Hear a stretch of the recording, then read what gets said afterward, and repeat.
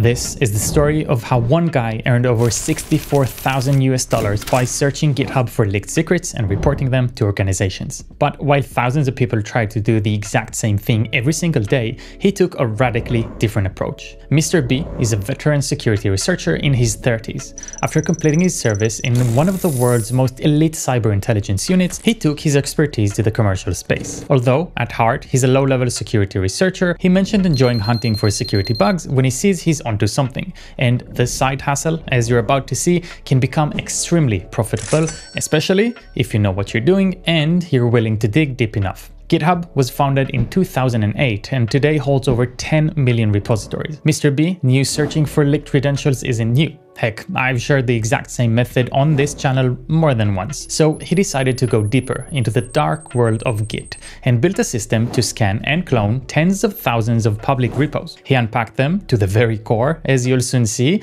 until they turned into an easily readable open book of secrets. The repos had Google Cloud and AWS production keys, GitHub and Slack tokens, OpenAI API keys, and email credentials, all reported and triaged, netting him over $64,000. So today Today, we're going through how he did it and how you can too. Any idea why every hacker story has to start with a hoodie? I don't know either. I needed a Git project for this example one that everyone knows, so what's better than FZF? Probably my favorite CLI of all times, which I made a video viewers liked and you can catch it up here.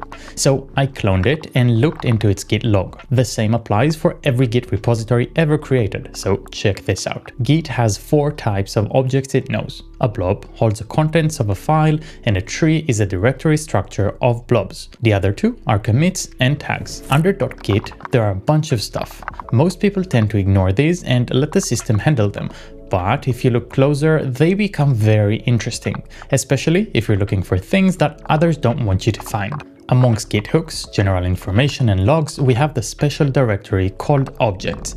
This is where Git stores most of its data, stores and restores, and that's a critical piece of information. If you look at large famous projects, you'll often only see pack under it, but before packs are created, they often are laid out in a tree of files with directories holding the first two characters of their hash and the files themselves with the rest of the hash.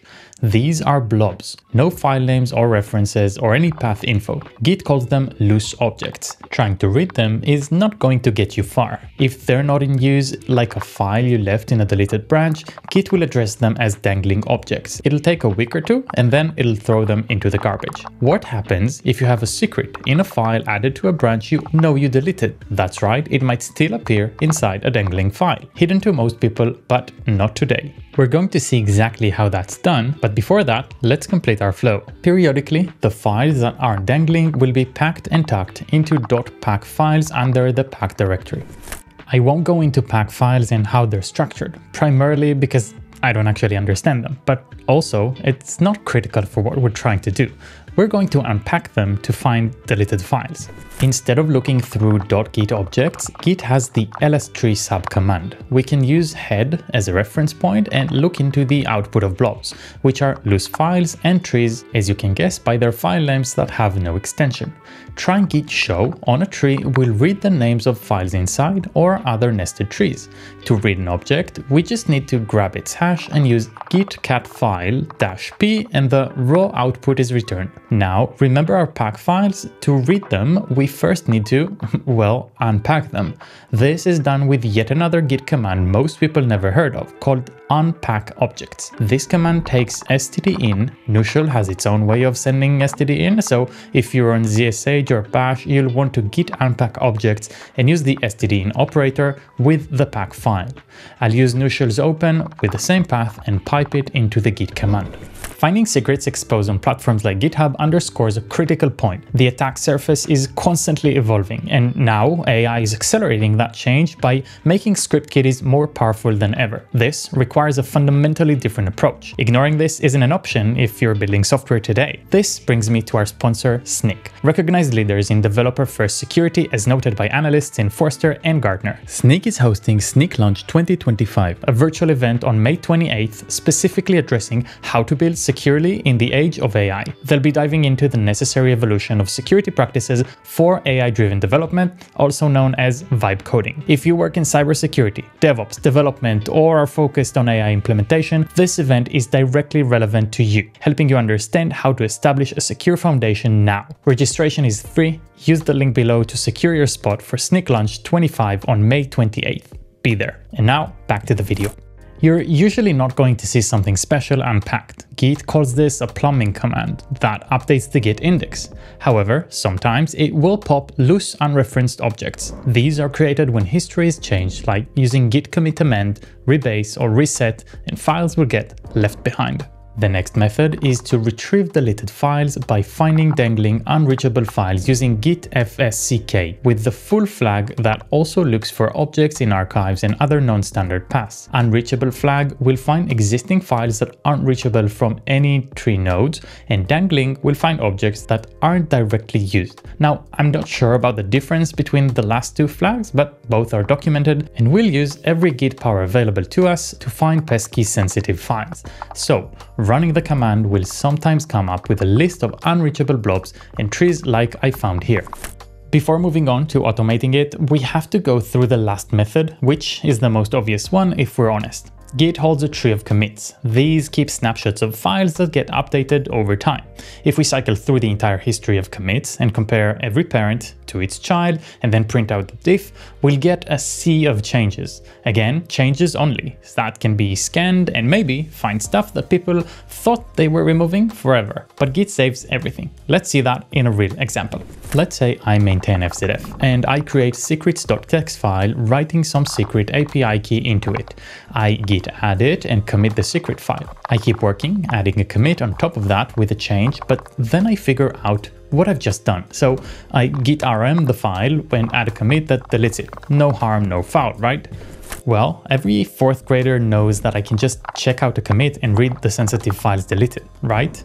Right? But still, I want to believe most seniors at least know that. However, did you know the next trick? Let's say I'm not so obvious, creating a branch named secrets feature, and again creating a secrets file with a sensitive key. I commit the key, but then I don't do anything with it. As a matter of fact, I'll go back to master and delete that secret feature branch that should have never existed. I'm out of the woods, or am I? Remember the objects under .git, the ones that are hanging for a couple of weeks before garbage collected? Based on the timestamp on before, I assume this is my recent change. Let's check out the contents git cat file and the hash. Don't forget the preceding two characters from the directory name to complete the path, and there we are. A secret key from a branch I totally deleted just 20 seconds ago. Starting to feel the worry I did when I first saw this? Good, time to automate. A simple script authored by Mr. B traverses the git commits in reverse using git revlist and checks for diffs of children and parents. If files marked with D are found, these are files that were deleted altogether and they will be recovered and saved as is. Another script finds all pack files, unpacks them and then running git fsck to find dangling objects. Running the script on my own project finds a lot of potential changes to look for, like a deleted test, deleted binary files, and more. Here's a list of dangling deleted files. What do we do with them? Well, the last piece of the puzzle, which is our hammer, is Trufflehog. A well-known open source scanner written in Go, works on all platforms and is super agile in terms of how much and what it can scan. Our hacker from the story turned it on with switches to run on the file system with all detectors. This is the point to say that while I'm doing this here out of interest, our Mr. B was aiming for legit targets, paying bounties. He lists how he found legitimate targets with active bug bounty programs in the blog post linked in the description. I, on the other hand, just wanted to find something, so I kept cloning and scanning and cloning and scanning until something popped. It's not extremely hard to find potential issues, but this random Kubernetes open source used by thousands had a list of them. It took a long while to scan it and I had to be patient while it went on until it stopped. It found keys for Atlassian, GitLab, Algolia admin key, even a Sentry token. Pretty cool. To end this story, beyond the lessons learned and the scans you probably want to run on your own projects, here's what the hacker found and how it translated to cash. 15k for cloud tokens, 10k for Slack, another 10k for GitHub, and a bunch of other OpenAPI, Hugging Face, Algolia, SMTP email credentials, altogether amounting to over 64,000 in cash. Not too bad. I don't know about you, but I know I've learned a ton about Git from making this video, and I'm not suggesting the next option as means to avoid GitHub leaked secrets, but I did recently switch Git to a newer, better version control system that's actually fully integratable with Git, so you don't have to give up existing projects or platforms. It's recognized by Linus himself, used by one of the founders of GitHub Daily and the co-founder of HashiCorp, who still uses it to create the beloved Ghostty terminal. This is Jujutsu, aka JJ, the version control you never knew you wanted. Thank you for watching, and I'll see you on the next one.